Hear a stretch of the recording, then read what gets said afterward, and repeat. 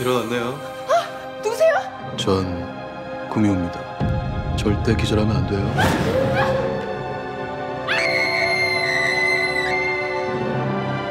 人間になることを目標に999年生き続けてきたキュービの狐ウヨ 인간의 전기로 그 구슬을 푸르게 물들이면 금수가 인간이 되리라.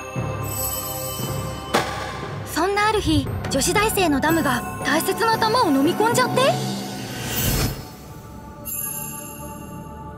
동, 동거를 하자고요? 그 구슬을 품은 학생이 내 눈앞에 있어야 안심되지 않겠어요?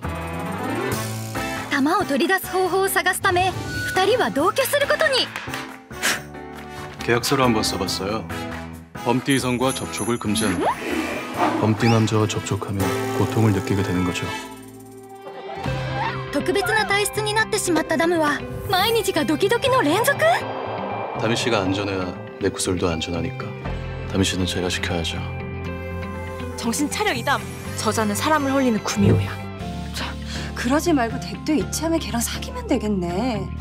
아, 물론 사랑을 가정해 인간 옆에 있어야 되는 거 극혐하는 거 잘 알지만 꾹 참고 사귀어봐.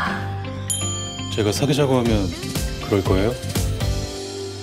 チャンギヨンイ・ヘリ豪華キャスト共演 어쩌면 누군가를 좋아한다는 건 그 사람의 자기 방식대로 오해하고 있던 뜻일지도 모르니까. キュービの狐と女子大生惹かれ合う2人の恋の行方から目が離せない 갑자기 심장이 두근거리고 호흡곤란이 오는 것 같고 정신도 약간 붕 뜬 것 마냥 혼미해지는 게 뭐라고 생각해? キュービの狐と危険な同居